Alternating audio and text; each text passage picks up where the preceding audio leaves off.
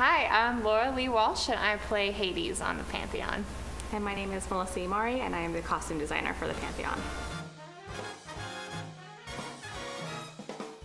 So when Dan first approached me about doing Pantheon, uh, he told me that we wanted a kind of The Office meets, meets uh, BuzzFeed uh, kind of feel. So all of the characters were supposed to be in some sort of um, hipster attire. So obviously I didn't want to just give everyone the same look. I didn't want everyone in black framed glasses and plaid shirts. So I kind of started researching different subgenres of hipster and trendy styles, um, street style, uh, different celebrity looks, uh, streetwear, and then um, researching each of the individual characters and their gods uh, mythologically and what they did, what kind of symbolism they had tied to them, and found the subgenre or style that best worked with their character. So, like for Hades, uh, everything was much more gothic, kind of soft goth, um, soft grunge, and like metallic. Um, then with uh, Morgan, who plays uh, Aphrodite. She's a little bit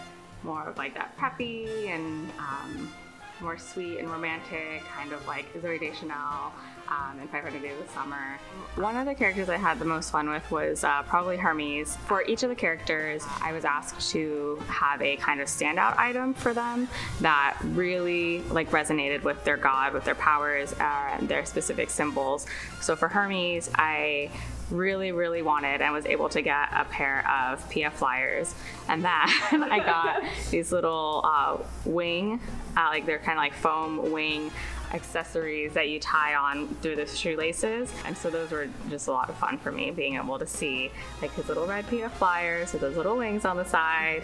Um, and plus he just had a really fun kind of preppy, know-it-all vibe. It was great. Ooh, that's a good question.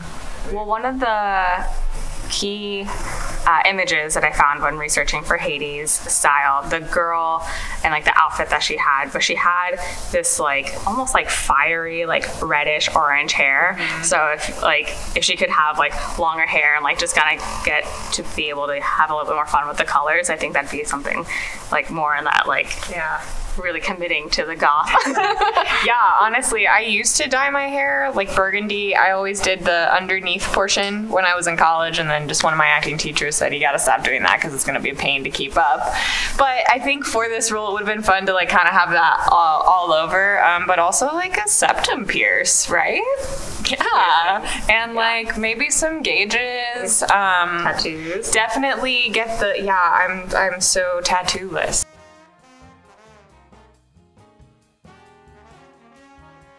Honestly, I was really excited when I saw how the look of Hades was coming together. Um, it's a role that, when I was cast, was not something I was typically cast as someone who is dark and of the underworld. Um, I usually play like the awkward babysitter or like that barista at Starbucks. So for me, it was just like a different different world anyway. And when Melissa brought in all these uh, options at the first table read, the whole lookbook, I was like, this is really cool. Like, this is exciting. I might start getting into dark lipstick kind of a thing, you know? Um, I did buy some Doc Martens, um, taken on some things in my personal life that um, Hades would wear because uh, one of the clothing items I did buy for the for the shoot, it's like a green cargo jacket and it's a man's jacket but it was honestly perfect. And when I put that on, plus the shirt, I was like, I'm ready. Let's do